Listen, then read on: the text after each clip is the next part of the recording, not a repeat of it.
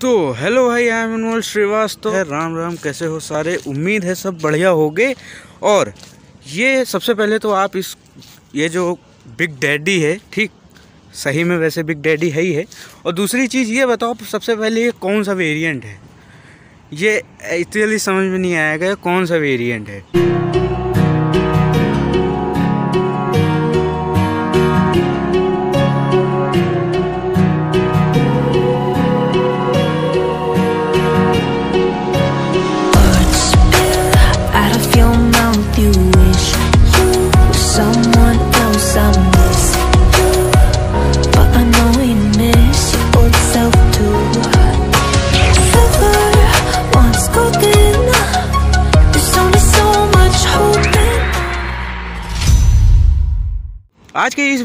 हम जो है इसका एक आपको वॉकराउंड देते हैं फीचर्स के बारे में बताते हैं और जैसे कि जो ये प्राइस है लगभग इसमें जो है आपका आ, सफारी का भी ठीक ठाक वेरिएंट आ जाते हैं। अब जो नई वाली सफारी आई है वो भी ठीक और आपकी एक्स यू सेवन हंड्रेड भी आ जाती है तो वो भी हो जाता है। तो उनसे थोड़ा सा रिलेट करते हुए हम इसका आपको एक वॉकराउंड देते हैं। सबसे पहले आप पीछे से देखोगे पीछे का लुक थोड़ा सा आ, किसी को पसंद आ भी सकता है किसी को नहीं भी आ सकता है ये सबका अपना अलग अलग पर्सनल होता है। किसी को इसका लुक नहीं पसंद आता है सफारी का पसंद आता है और अपना एक्स वी सेवन हंड्रेड का पसंद आता है तो लुक्स तो सबके पर्सनल उस पर मैटर करते हैं। इसकी अगर हम बात करें पीछे से देखने में बहुत बड़ी लगती है बल्कि लगती है आगे से भी देखने में मतलब है ही है बड़ी गाड़ी है ही है पीछे आपको स्कॉर्पियन बाकी आपको वेरियंट की कहीं भी कोई भी बैजिंग नहीं मिलेगी। पूरी गाड़ी पे आप देख लो, कहीं पे भी कोई भी वेरिएंट की बैजिंग नहीं मिलती है। ठीक? तो ये चीज़ अच्छी है, आप बेस मॉडल लो टॉप मॉडल लो, उससे कोई मतलब नहीं है, क्योंकि यहाँ पे आपको वेरिएंट कहीं भी लिखा हुआ नहीं मिलेगा।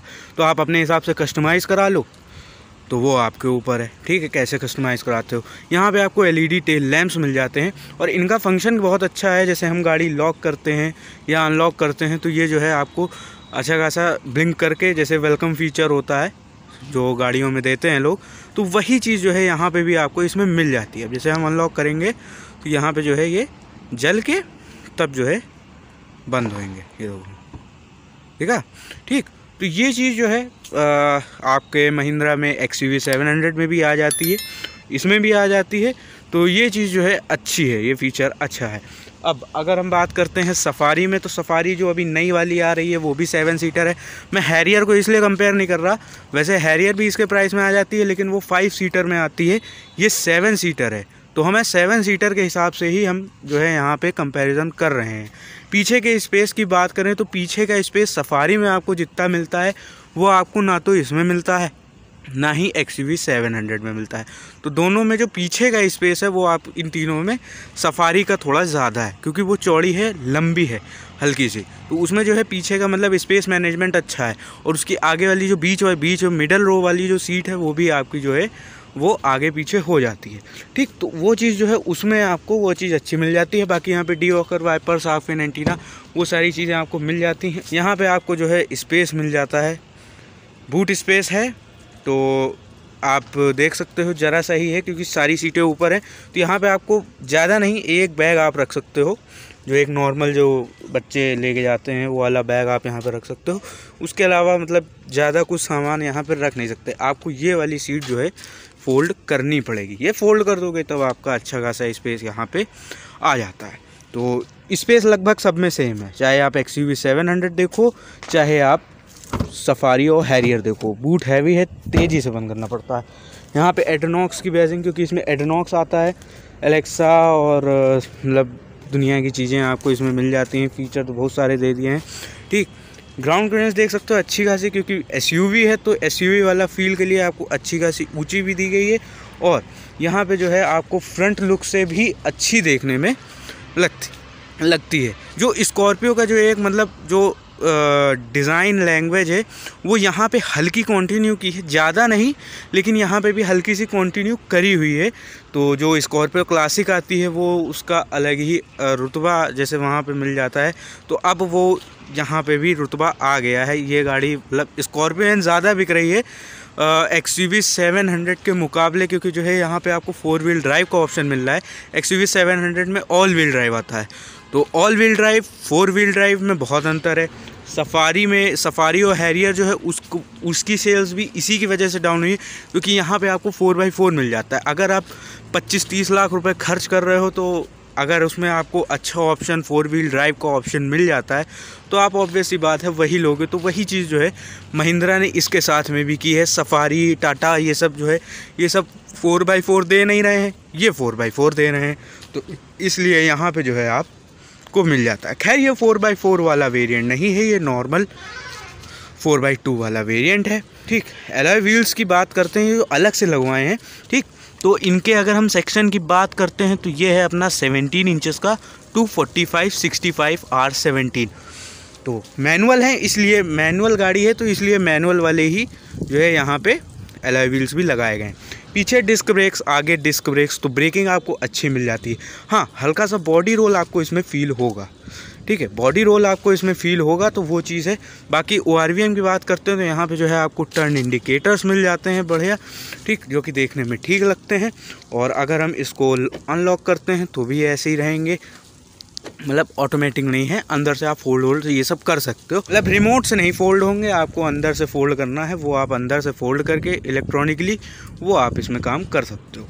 अब फ्रंट से आ जाते हैं। तो अब देखो, जैसे साइड आइड से ये सब जो है आपने देख लिया साइज़ में बड़ी है साइज़ में बिल्कुल मतलब जैसे फॉर्चूनर को कंपैरिजन में मतलब ये इन्होंने निकाली है, खैर है नहीं, वो फॉर्चूनर अलग चीज़ है, ये अलग चीज़ है। बस इसमें फ़ोर बाई फोर आपको मिल जाता है पावरफुल डीजल इंजन मिल जाता है पावरफुल पेट्रोल इंजन मिल जाता है पेट्रोल इंजन 200 सौ निकालता है, ये लगभग एक सौ पचहत्तर एच पी निकालता है। बाकी यहाँ पे आपको एलईडी टेल लैंप्स मिल जाते हैं, यहाँ पे भी प्रोजेक्टर आपको दे दिया गया है।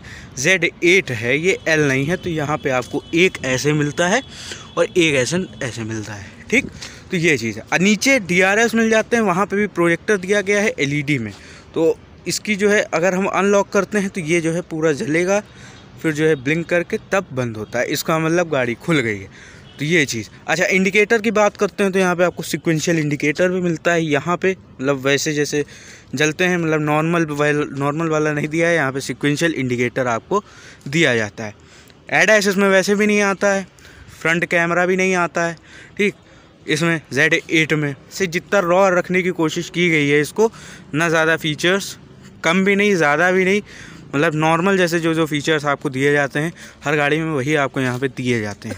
ठीक, अब हम अंदर से बात करते हैं। तो अंदर से जो है, इसमें आपको बहुत ही बढ़िया, ना बढ़िया कह सकते हो मतलब वो सबका अपना पर्सनल पर्सपेक्टिव है, क्या है? ठीक तो अंदर से भी लग्जरी तो प्रोवाइड की है यहाँ पे लग्जीरियस फील देने के लिए अंदर से सनरूफ है, आपका एंड्रॉयड ऑटो एप्पल कारप्ले है, ये सब आपको यहाँ पे दिया जाता है। ठीक है तो वो चीज़ जो है यहाँ पे मिल जाती है। अब यहाँ देख लो तो ब्राउन और डुअल टोन में इंटीरियर है, बाकी यहाँ पे जो है आपको सीट्स देख सकते हो तो 60 40 स्प्लिट सीट्स हैं, और अगर हम बात करते हैं, यहाँ पे जो है, ये खैर आगे पीछे नहीं हो सकती हैं ये जो है थोड़ा सा इसका ड्रॉबैक है। ठीक, कि आगे पीछे नहीं हो सकती, कम से कम आगे पीछे होना चाहिए था। ठीक फोल्ड हो जाएँगी, लेकिन जो है आगे पीछे नहीं होती है। मतलब फिक्स रहती है। तो इसकी वजह से जो है पीछे थोड़ा सा मतलब गड़बड़ हो जाता है। सफारी में क्या है, सफारी में आपको जो है ये सीट आप आगे कर सकते हो, पीछे कर सकते हो मतलब अपने हिसाब से एडजस्ट कर सकते हो। तो जैसे मान लो आगे उस, उसमें यहाँ पे भी स्पेस अच्छा खासा है। इसको अगर आप पूरी आगे भी कर दोगे सफारी में तो भी आप आराम से बैठ जाओगे, पीछे अपना आराम से लोग बैठ जाएँगे। तो ये चीज़ जो है वहाँ पर वो मैनेज हो जाती है। यहाँ पर नहीं हो पाती क्योंकि ये फिक्स है, ये आगे पीछे नहीं होती। है रियर ए सी मिल जाते हैं फ़ैन के कंट्रोल्स वहाँ पर मिल जाते हैं। एक टाइप सी पोर्ट आपको यहाँ पर दिया गया ठीक? तो ये चीज़ है। तो इसीलिए सफारी और मतलब देखो प्रैक्टिकलिटी के हिसाब से अगर बात की जाए तो वो सबका अपना अलग अलग है।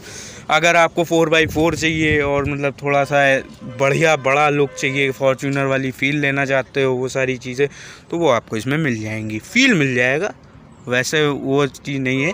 ठीक, अब यहाँ पे आ जाते हैं तो यहाँ पे भी देखो ये सब पूरा विंडो के कंट्रोल्स लॉक और ये सारा मिल जाता है। ओ आर वी एम यहाँ से फोल्ड एंड फोल्ड करने का यहाँ पे दिया गया है। ठीक है, इसको ऐसे करोगे तो फोल्ड एंड फोल्ड हो जाएँगे, यहाँ से एडजस्ट हो जाएगा। डुअल टोन वही सेम चीज़। सोनी के स्पीकर्स आते हैं। स्पीकर सिस्टम बहुत अच्छा है। आवाज़ बढ़िया आती है। और मतलब जो है यहाँ पर स्पीकर के मामले में बहुत ही अच्छा किया गया है।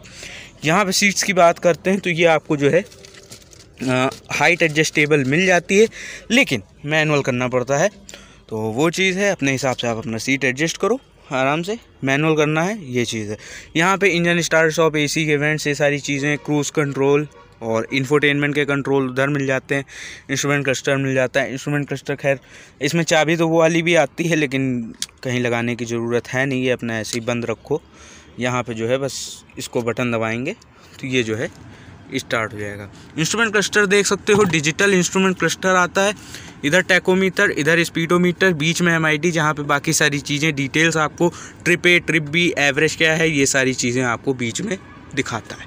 ठीक, ये चीज़ है। स्टेयरिंग की बात करते हैं तो ऊपर नीचे आप कर सकते हो, आराम से कोई दिक्कत नहीं है। स्टेयरिंग इसका लाइट बहुत है तो जो शहर में जैसे चला रहे हो तो शहर में चलाने के हिसाब से भी ये बहुत अच्छा है। मतलब आराम से एक उंगली से मोड़ सकते हो। तो स्टेयरिंग फीडबैक जो है ना इसका, ये मतलब इलेक्ट्रॉनिक स्टेयरिंग है तो उसकी वजह से यहाँ पे जो है आपको बहुत ही लाइट स्टेयरिंग मिलता है। ये चीज़ एक्स यू सेवन हंड्रेड में भी है मतलब महिंद्रा की लगभग हर गाड़ी में। स्कॉर्पियो का मुझे आइडिया नहीं है, क्योंकि मैंने क्लासिक अभी तक चलाई नहीं है, और वो चीज़ अलग है। ठीक है, बाकी जो है, अगर हम बात करते हैं यहाँ पे, ये देखो, ये कुछ ऐसा इसका इंफोटेनमेंट सिस्टम है, ठीक? यहाँ पे टच रिस्पॉन्स इसका बहुत अच्छा है। एंड्रॉयड ऑटो एप्पल कारप्ले दोनों आता है। ठीक, यहाँ पे स्क्रीन देख सकते हो। कैमरे की अगर हम बात करते हैं, यहाँ पे तो कैमरे के लिए मुझे जो है यहाँ पे इसको ऐसे रिवर्स करेंगे तो जो है ये कैम कैमरा देख सकते हो क्वालिटी ठीक है डिसेंट है, ठीक। और यहाँ पे अगर ये देखो, ये पूरा वाइड एंगल हो गया, ये ऐसा नॉर्मल हो गया, ये इधर का, ये इधर का बैक करो। और बैक करो तो यहाँ पे ये ऐसे आ जाएगा। ठीक मतलब ये चीज़ जो है आपको इसमें मिल जाती है। ये इधर साइड का हो गया कि जैसे मान लो हमको पार्किंग में लगाना है, ठीक है तो पार्किंग में लगाने के लिए कि भाई इधर गाड़ी है, इधर गाड़ी है, यहाँ पे जो है बीच में तो ये चीज़ जो है इसमें, जब मैंने पहले वीडियो बनाई थी, उसमें ये चीज़ नहीं थी, अब जो है इसमें वो चीज़ कर दी तो ये चीज़ अच्छी लगी। ठीक, यहाँ पे इसके कंट्रोल्स मिल जाते हैं automatic AC dual zone AC आता है यहाँ पे ये चीज़ भी अच्छी है, एक तरीके से टॉप से थोड़ा जस्ट नीचे वाला है जेड एट है जेड एट एल नहीं है। तो यहाँ पे वो सारी चीज़ें, ये कंट्रोल्स इधर आपको पैसेंजर एयरबैग अगर ऑन है तो ऑफ़ है तो ये चीज़ आपको यहाँ पे मिल जाती है। ये एक्स्ट्रा जोड़ा गया है यहाँ पे। पहले नहीं आता था ये चीज़। तो ये इन्होंने अब अब वाले मॉडल्स में ये सब ये सब चीज़ें जोड़ दी हैं।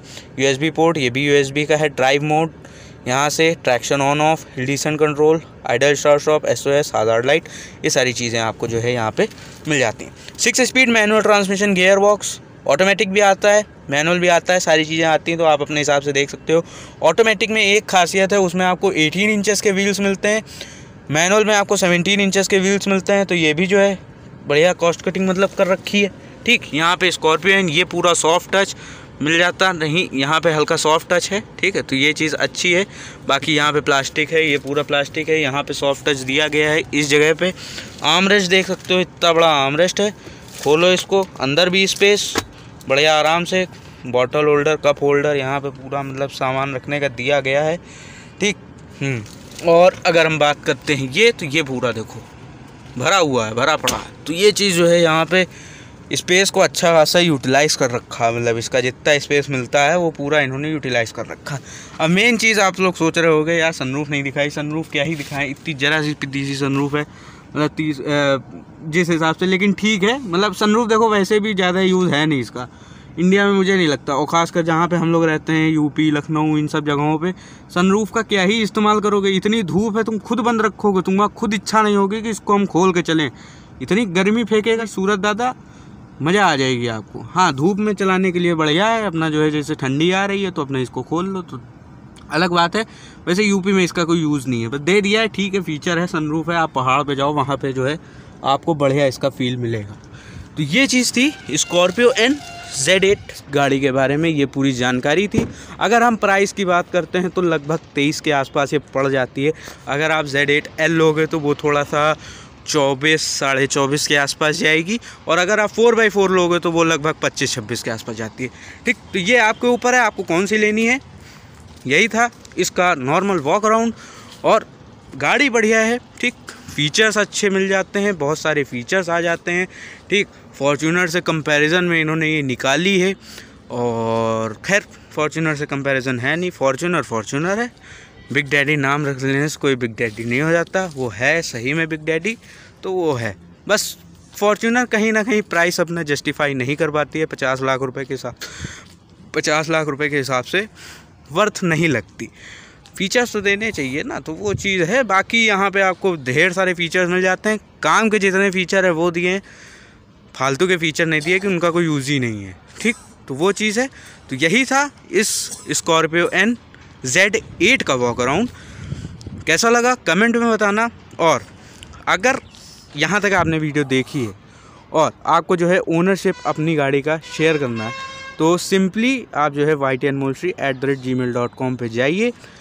जो है वहाँ पे ईमेल मुझे करिए, अपनी डिटेल्स भेज दीजिए, कहाँ रहते हो, गाड़ी कौन सी है, और अपना कॉन्टैक्ट नंबर ठीक? और बस फिर आपसे कॉन्टैक्ट होगा ओनरशिप होगा, मज़ा आएगी।